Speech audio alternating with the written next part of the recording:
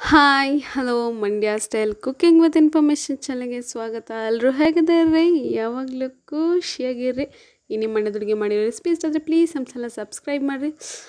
ಮಾವಿನಕಾಯಿ ಸೀಸನ್ ಇವಾಗ ಮಾವಿನಕಾಯಿ ಸೀಸನಲ್ಲಿ ಮಾವಿನಕಾಯಿ ಚಿತ್ರನ ತಿನ್ನಲಿಲ್ಲ ಅಂದರೆ ನಿಜವಾಗ್ಲೂ ವೇಸ್ಟ್ ಯಾಕೆಂದರೆ ಅದ್ರ ಸ್ವಾದ, ಮತ್ತು ಅದ್ರ ರುಚಿ ನಮ್ಮ ದೇಹಕ್ಕೂ ಕೂಡ ಒಳ್ಳೆಯದು ಮಿತ್, ಅಂದರೆ ಮಿತವಾಗಿದ್ದರೆ ಯಾವುದೇ ಆದರೂ ಅಷ್ಟೇ ನೋಡಿ, ತುಂಬ ಸರಳವಾಗಿ, ಬಹಳ ಬೇಗವಾಗಿ ಹೇಗೆ ಮಾಡೋದು? ಅಂತ ನಾನು ಹೇಳ್ತೀನಿ. ಅಂದರೆ ನಾವು ಯಾವ ರೀತಿ, ಅಂದರೆ ಇದರಲ್ಲೂ ಎರಡು ಮೂರು ವಿಧಗಳಿದೆ. ಅದರಲ್ಲಿ ತಕ್ಷಣ ತಿನ್ನಬೇಕು ನಿಮಿಷದಲ್ಲಿ ಅಂತ ಹೇಳಿದ್ರೆ ಈ ರೀತಿ ಮಾಡ್ಬೋದು. ನೀವು ಫಸ್ಟು ಮಾವಿನಕಾಯಿನ ಚೆನ್ನಾಗಿ ತೊಳ್ಕೊಂಡು ಅದ್ರ ಮೇಲ್ಗಡೆ ಇದು ಹಾ, ಇದು, ಏನು ಹೇಳ್ತೀವಲ್ಲಪ್ಪ ತೊಟ್ಟಿರುತ್ತಲ್ಲ ಅಲ್ಲಿ ಅದನ್ನು ತೆಗೆದು, ಮೇಲ್ಗಡೆ ಸಿಪ್ಪೆನ ತೆಗೆದು, ಕ್ಯಾರೆಟ್ ತುರಿಯೋದ್ರಲ್ಲಿ ತುರ್ಕೊಬೇಕು ನೀವು.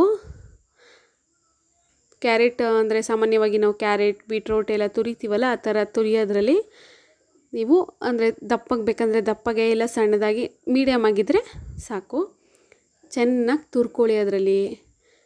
ನಂತರ ಚಿತ್ರಾನ್ನಕ್ಕೆ ಏನೇನು ಬೇಕು, ಸಾಮಾನ್ಯವಾಗಿ ನೀವು ಏನೇನು ಹಾಕ್ತೀರಾ ಅದನ್ನೆಲ್ಲ ಒಂದು ಪ್ಲೇಟಲ್ಲಿ ಇಟ್ಕೊಳ್ಳಿ. ನಿಮಿಷದಲ್ಲಂತೂ ಖಂಡಿತ ಆಗುತ್ತೆ. ಅನ್ನ ರೆಡಿ ಮಾಡಿಟ್ಕೊಂಡಿರಿ.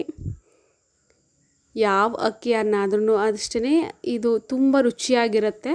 ಜೊತೆಗೆ ಬೇಗನೂ ಆಗುತ್ತೆ. ನೆಕ್ಸ್ಟು ಯಾವ ಪಾತ್ರೆಯಲ್ಲಿ ಮಾಡ್ತೀರಾ ಆ ಪಾತ್ರೆಯಲ್ಲಿ ಎಣ್ಣೆ ನಾಲ್ಕು ಟೇಬಲ್ ಸ್ಪೂನ್ ಬಳಸಿ ಅಂದರೆ ಜಾಸ್ತಿನೇ ಹಾಕಿ ಚಿತ್ರಾನ್ನಕ್ಕೆ ಸಾಮಾನ್ಯವಾಗಿ ನಾವು ಜಾಸ್ತಿನೇ ಹಾಕಬೇಕಾಗತ್ತೆ. ಎರಡು ಟೇಬಲ್ ಸ್ಪೂನ್ ಹಾಕಿದ್ರೆ ಅದು ಬರ್ ಅಂದರೆ ಆಯಿಲ್ಸ್ ಅಂಶ ಕಮ್ಮಿ ಇದ್ದರೆ ಸರಿ ಇರಲ್ಲ.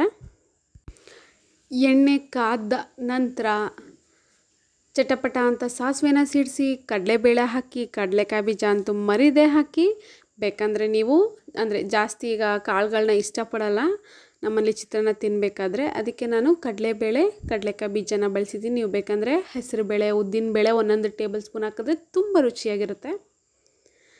ನಂತರ ಹಸಿಮೆಣಸಿನ್ಕಾಯಿ. ಹಸಿರು ಮೆಣಸಿನ್ಕಾಯಿನ ನೀವು ಎಷ್ಟು ಬಳಸ್ತೀರಾ ಅಂದರೆ ನಿಮಗೆ ಖಾರ ಜಾಸ್ತಿ ಬೇಕು ಅಂತ ಹೇಳಿದ್ರೆ ಖಾರ, ಅಂದರೆ ಖಾರಕ್ಕೆ ನೀವು ಹೇಗೆ ಪ್ರಿಫರ್ ಮಾಡ್ತೀರಾ. ಎಷ್ಟು ರುಚಿನ ನೀವು ತಿಂತೀರ ಅಷ್ಟು ಖಾರಕ್ಕೆ ಹಸಿರು ಮೆಣಸಿಕಾಯನ್ನ ಬಳಸ್ಬೋದು ನೀವು. ನಾನು ಕೇಳೋದಾದರೆ ಸ್ವಲ್ಪ ಜಾಸ್ತಿನೇ ಹಾಕಿ, ಅಂದರೆ ಖಾರ ಇರೋ ಮೆಣಸಿಕಾಯಿ ಆದರೆ ಮೀಡಿಯಮಾಗಿ ಹಾಕಪ್ಪ ಆಮೇಲೆ ಮೀಡಿಯಮ್ ಖಾರ ಇರೋದಾದರೆ ಜಾಸ್ತಿ ಹಾಕಿ ಚೆನ್ನಾಗಿರುತ್ತೆ ಹುಳಿ ಜೊತೆಗೆ ಖಾರನೂ ಸ್ಪೈಸಿಯಾಗಿ ನಂತರ ಅದಕ್ಕೆ ತುರಿದಿಟ್ಕೊಂಡಿರುವಂತಹ ಮಾವಿನಕಾಯಿ. ಹುಳಿ ಮಾವಿನಕಾಯಿನ ನಾನಿಲ್ಲಿ ಮಾಡಿರುವಂಥದ್ದು. ಬಾದಾಮಿ ಕಾಯಿ ಅಂತ ಹೇಳ್ತೀವಲ್ಲ ಅದನ್ನು ನಮ್ಮ ಕಡೆ ಬೇಜಾನ್ ಸಿಗ್ತವೆ. ಚೆನ್ನಾಗಿ ಈ ರೀತಿ ಬೇಯಿಸ್ಕೊಳ್ಳಿ. ಯಾವುದೇ ಚಿತ್ರಾನ್ನ ಆದರೂ ಅಷ್ಟೇ ನಾವು ಹಾಕಿರುವಂಥ ಪದಾರ್ಥಗಳು ಬೆಂದಿದೆ ಅಂತ ಎಣ್ಣೆನೇ ಹೇಳೋದು. ಕೊನೆಗೆ ಎಣ್ಣೆ ಸೈಡ್ ಸೈಡಲ್ಲಿ ನಿಂತ್ಕೊಂಡಿದೆ ಅಂದರೆ ಕರೆಕ್ಟಾಗಿ ಬೆಂದಿದೆ ಅಂತ ಅರ್ಥ. ಅಲ್ಲಿ ತನಕ ವೆಯ್ಟ್ ಮಾಡಬೇಕಾಗತ್ತೆ. ಏನು ಎರಡು ನಿಮಿಷ ಆಗುತ್ತೆ ಅಷ್ಟೇ ಕಣ್ರಿ, ಜಾಸ್ತಿ ಏನೂ ಆಗಲ್ಲ. ನಂತರ ಅದಕ್ಕೆ ಅರ್ಶಿಣದ ಪುಡಿ, ಕೊತ್ತಂಬರಿ ಸೊಪ್ಪು ಹಾಕ್ಬಿಟ್ಟು ಇನ್ನೊಂದೆರಡು ನಿಮಿಷ ಫ್ರೈ ಮಾಡಿ ರುಚಿಗೆ ತಕ್ಕಷ್ಟು ಉಪ್ಪನ್ನು ಹಾಕಿ. ಅಂದರೆ ಚಿತ್ರಾನ್ನ ಎಷ್ಟು ಕ್ವಾಂಟಿಟಿಲಿ ಮಾಡ್ತಿದ್ದೀರಾ ಅಷ್ಟು ಉಪ್ಪನ್ನು ಹಾಕಿ ಇದನ್ನು ಮ್ಯಾಕ್ಸಿಮಮ್ ಅಂದರೆ ನೀರು ತಾಗಿಸ್ತೇನೆ ಇಡ್ತೀನಿ ಅಂತ ಹೇಳಿದ್ರೆ ಹದಿನೈದು ದಿವಸದ ತನಕನೂ ಇಡ್ಬೋದು. ನೀರು ತಾಗಿಸಿದ್ರೆ ಯಾವುದೇ ಆದರೂ ಅಷ್ಟೇ ಕೆಟ್ಟೋಗ್ಬಿಡತ್ತೆ. ಹದಿನೈದು ದಿವಸ ಅಂತೂ ಪಕ್ಕ ಇರುತ್ತೆ ಇದು. ನಂತರ ಇದಕ್ಕೆ ಗೊಜ್ಜು ರೆಡಿ ಆಯಿತು.